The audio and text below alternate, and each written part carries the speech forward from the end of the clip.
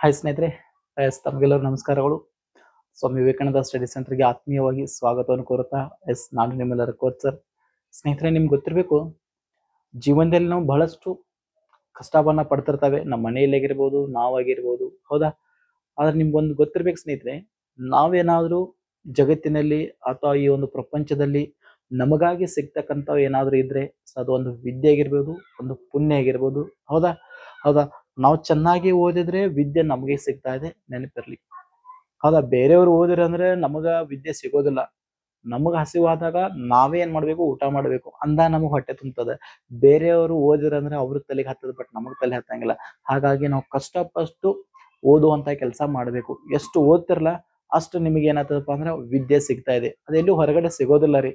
ಒಂದ್ ಅರ್ಧ ಕೆಜಿ ಕೊಡ್ರಿ, ಒಂದ್ ಕೆಜಿ ಕೊಡ್ರಿ, ಎರಡು ಕೆಜಿ ಕೊಡ್ರಿ ಅಂತಂದ ಸೊ ಎಲ್ಲೂ ನಿಮ್ಗೆ ಏನಾಗಂಗಿಲ್ಲ ರೀ ಸಿಗೋದಿಲ್ಲ ಅದು. ಹೌದಾ?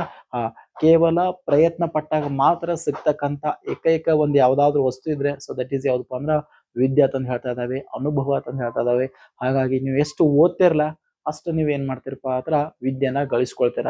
ಅಷ್ಟೇ ಅಲ್ಲ ಸ್ನೇಹಿತರೆ, ಇನ್ನೊಂದು ವಿಶೇಷ ಇದೆ, ಇನ್ನೊಂದು ವಿಶೇಷ ಏನಪ್ಪಾ ಅಂತಂದ್ರ, ನಾವು ಎಷ್ಟು ದೇವರಿಗೆ ಭಕ್ತಿದಿಂದ ಸೇವೆನ ಸಲ್ಲಿಸ್ತಾವಲ್ಲ ಎಷ್ಟು ಒಳ್ಳೆಯ ಕಾರ್ಯಗಳನ್ನ ನಾವು ಮಾಡ್ತಾವಲ್ಲ, ಎಷ್ಟು ಪ್ರಾಮಾಣಿಕವಾಗಿ, ಮನಸ್ಪೂರಕವಾಗಿ ಕೆಲಸಗಳನ್ನ ಮಾಡ್ತಾವಲ್ಲ, ಅಷ್ಟೇ ನಮ್ಗೆ ಏನಾಗ್ತದಪ್ಪ ಅಂದ್ರೆ ಪುಣ್ಯ ಸಿಗ್ತೈತಿ ನೆನ್ಪಿಟ್ಕೋರಿ. ಹೌದಾ?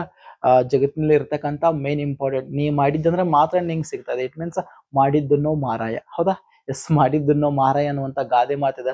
ವೇದ ಸುಳ್ಳಾಗ್ಬೋದು ಬಟ್ ಇವತ್ತು ಗಾದೆಗಳು ಸುಳ್ಳಾಗಂಗಿಲ್ಲ. ಅವು ಹಿರಿಯರ ಅನುಭವದಿಂದ ಬಂದಿದ್ದಾವೆ ಸ್ನೇಹಿತರೆ, ನೆನ್ಪಿಟ್ಕೋರಿ. ಹಾಗಾಗಿ ನಾವೆಷ್ಟು ಒಳ್ಳೆಯ ಪ್ರಾಮಾಣಿಕವಾದಂತ ಕೆಲಸ ಮಾಡ್ತೇವೆ, ಎಷ್ಟು ಒಳ್ಳೆಯ ಕಾರ್ಯಗಳನ್ನು ಮಾಡ್ತಾ ಇದ್ದಾವೆ, ಎಷ್ಟು ಜನರಿಗೆ ಒಳ್ಳೆಯದನ್ನ ಬಯಸ್ತೇವೆ, ಹೌದಾ?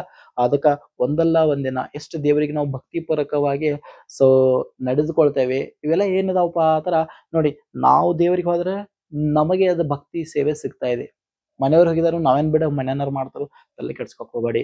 ನೀ ಮಾಡಿದ್ದನ್ನ ನೀನೇ ಉಣ್ಲೇಬೇಕು. ನಮ್ಮಿಂದ ಎಷ್ಟು ಪ್ರಾಮಾಣಿಕವಾದಂತ ಸೇವೆ ಆಗ್ತೈತ್ಲ, ಅಷ್ಟು ನಮಗೆ ಏನತ್ತಪ್ಪ ಅಂದ್ರ ಒಂದಲ್ಲ ಒಂದಿನ ಕಟ್ಟಿಟ್ಟ ಬುತ್ತಿ ದಟ್ ಇಸ್ ಪುಣ್ಯ ಅಂತ ಹೇಳ್ತಾವ್ ಹೌದಾ?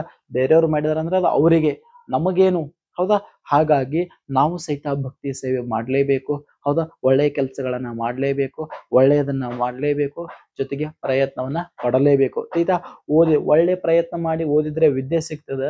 ಸಾಮಾಜಿಕವಾಗಿ ಒಳ್ಳೆಯ ಕೆಲಸ, ದೇವರ ಸೇವೆನ ಮಾಡಿದ್ರೆ ಪುಣ್ಯ ಸಿಗ್ತದೆ ಸ್ನೇಹಿತರೆ. ಹೌದಾ? ಇದು ಯಾರಿಗೂ ಸಿಗೋದಿಲ್ಲ ಇವು. ನೀವು ಮಾಡಿದ್ರೆ ಮಾತ್ರ ನಿಂಗೆ ಸಿಗ್ತದ. ನೀವು ಮಾಡದೇ ಇದ್ರೆ ಮತ್ತಾರ್ದು ಆಗ್ತದೆ. ನೆನ್ಪಿಟ್ಕೋರಿ. ಹಾಗಾಗಿ ಈ ಪುಣ್ಯ ಮತ್ತು ವಿದ್ಯೆ ಯಾವತ್ತು ನಿಮ್ಮದಾಗ್ಬೇಕಾರ ನೀವು ಪ್ರಯತ್ನ ಪಡಲೇಬೇಕು. ಸೊ ಪ್ರಾಮಾಣಿಕವಾಗಿ ತಮ್ಮ ಕೆಲಸವನ್ನ ತಾವು ಮಾಡಲೇಬೇಕು. ಅಂದಾಗ ಏನಾಗ್ತದಪ್ಪ ಅಂದ್ರ, ಈ ವಿದ್ಯೆ ಮತ್ತು ಪುಣ್ಯಗಳು ಏನಾಗ್ತಾವಪ್ಪ ಅಂದ್ರ ನಿಮಗೆ ಸಿಕ್ಕೇ ಸಿಗ್ತಾವ ಅಂತ ಹೇಳ್ತಾ, ಎಸ್ ಸ್ನೇಹಿತರೆ, ನಾವು ನೀವು ಮತ್ತಷ್ಟು ವಿದ್ಯೆಯನ್ನ, ಮತ್ತಷ್ಟು ಪುಣ್ಯವನ್ನ ಗಳಿಸುವಂತ ಕೆಲಸಗಳನ್ನ ಮಾಡೋಣ ಅಂತ ಹೇಳ್ತಾ ಸೊ ತಮ್ಗೆಲ್ಲರಿಗೂ ಒಳ್ಳೇದಾಗಲಿ, ಶುಭ ದಿನ.